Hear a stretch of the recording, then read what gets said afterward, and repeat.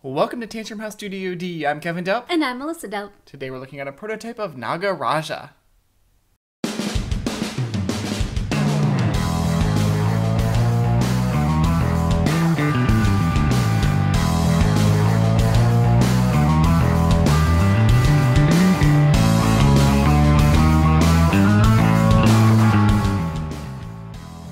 Naga Raja is a two player tile placement hand management stick rolling game.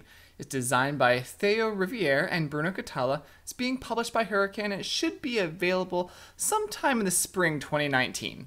Players are exploring Indian temples to find relics and amulets. You're going to sacrifice cards from your hand to roll fate sticks in order to win the tiles that you place into your temple to create paths. You're looking for high point relics, but trying to avoid being cursed. Let's look at the prototype components. There are game boards, tiles, cards, fate sticks, tokens, and more. During setup, players receive a hand of cards and set up their temple by randomly placing face down relics. The goal of the game is to be the first to collect 25 points from relics and amulets. At the beginning of each round, you reveal one room tile that the players will compete for. The first player, called the guide, selects as many cards of the same type that they want, and the other player does the same, and then the cards are revealed. Players then roll the number of fate sticks shown on their cards. Each dot is worth one fate point, and each wavy line is a naga. Starting with the guide, if they have a naga, they can discard it to activate one card from their hand. Then the other player can as well. Play continues until both players have passed. The player with the most fate points wins the room. The other player becomes the guide and draws three cards, keeping two and giving one to their opponent. When you win a room tile, you must place it in your temple either touching one of the starting paths or another tile that has already been placed.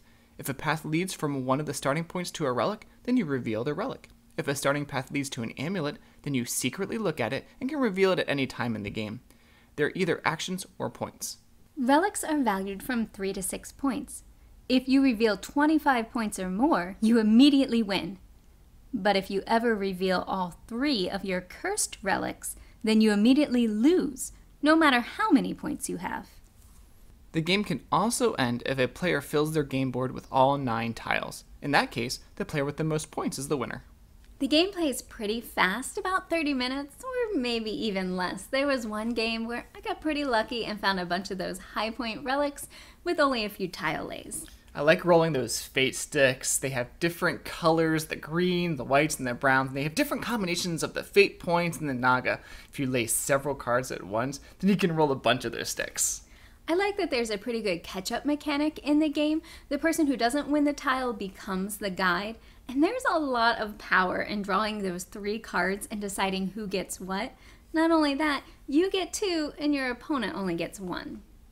There are many different actions you can take from the cards. Some of them affect you, like adding more fate points to your roll or drawing more cards. Others can affect yourself or your opponent, like swapping tiles or inspecting relics. And then some are straight up attacks, like removing sticks from your opponent or discarding cards. Because the cards are multi-use, there's definitely some interesting decisions to make during the game. Do I play several of the same type together so I can roll a lot of those fate sticks? Or do I hold on to some of them for their actions? And then when I'm the guide, which ones do I keep and which ones do I give to my opponent? Maybe I have an attack card that's not really great for me, but if I give it to Kevin, he can use it against me. The illustrations are from my favorite artist, Vincent Dutrait. He does a great job immersing players in the temple theme, and I love rolling those fate sticks. They have a nice weight to them. We were able to meet one of the designers, Theo, at Gen Con and had a great time learning the game from him. When we received the prototype, I did read through the rules and I found them simple and easy to follow. This game is not complex, but it still offers some interesting choices to make. If you're looking for a two player game that has tile placement, some multi use cards, there's cool fate sticks that you roll, then check out Naga Raja from Hurrican, being published sometime in 2019.